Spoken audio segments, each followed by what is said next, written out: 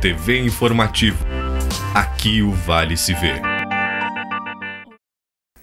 Na semana passada, eu comentei aqui que a Lava Jato havia criado uma espécie de sistema de alarme, um dispositivo de proteção a ser automaticamente acionado sempre que detectasse algum movimento contra si.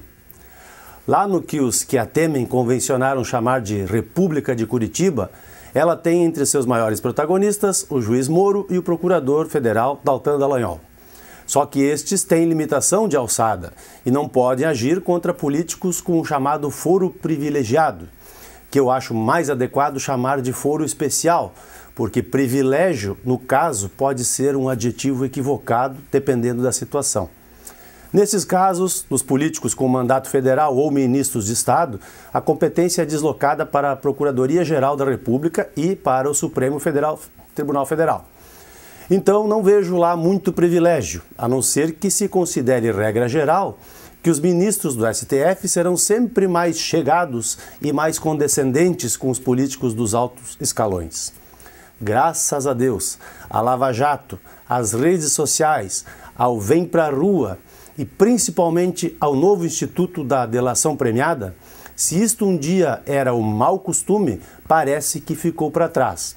Porque com esses avanços políticos e culturais da população, hoje em dia todos temem a opinião pública e a reação pública em relação a seus atos, até mesmo os ministros do Supremo.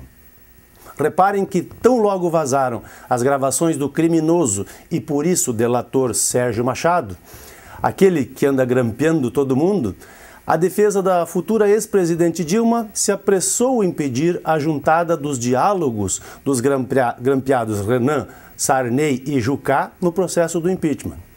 No dia seguinte, vazou o depoimento do outro criminoso delator, Nestor Cerveró, que garantiu que a Dilma sabia de tudo a respeito do que viria a ser o desastre e, quiçá, o motivo do maior dos rombos da Petrobras, que foi a estranha compra da refinaria de Passadina. Obviamente, a oposição, que agora virou a por enquanto situação, não iria perder a oportunidade de pedir que também estes novos fatos trazidos pelo Cerveró fossem admitidos no processo de impeachment. Aí, como ninguém tem razão e ambos os lados têm medo do que possa surgir daí, vai ficar tudo como está no processo. Antigamente, só o pessoal da Dilma gritava que tudo era vazamento seletivo. Agora é todo mundo. E acho que neste caso todo mundo tem razão. São sim vazamentos seletivos. E sua liberação quase sempre no momento oportuno, é exatamente para não deixar a coisa prender para o lado do, digamos, menos errado contra o mais errado. Acho então que está aí, nos vazamentos seletivos, revelado o sistema de alarme e proteção que a Lava Jato encontrou para se manter firme e forte contra as ameaças de quem não tem o menor interesse na faxina ética e moral que ela vem realizando. E é por isso também que eu disse na semana passada que ela tem que ser feita com uma pressa contida para evitar o descarrilamento do trem da República. Que o governo Temer não seria o ideal, que não seria totalmente ficha limpa, todos nós sabíamos, mesmo porque falta gente dessa estirpe lá por cima.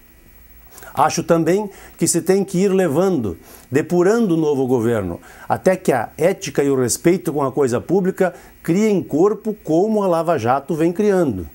E acho que é exatamente isso que os seus comandantes estão fazendo nas suas duas frentes, Curitiba e Brasília.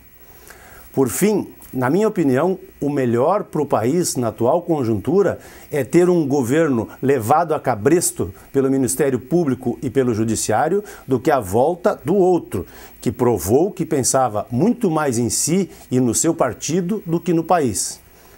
E o principal e o mais seguro evitar uma aventura de uma nova eleição num momento de turbulência destes, em que nem mesmo se sabe se teríamos um candidato que pudesse chegar até o fim do processo eleitoral sem ser preso. Até a próxima. TV Informativo. Aqui o Vale se vê.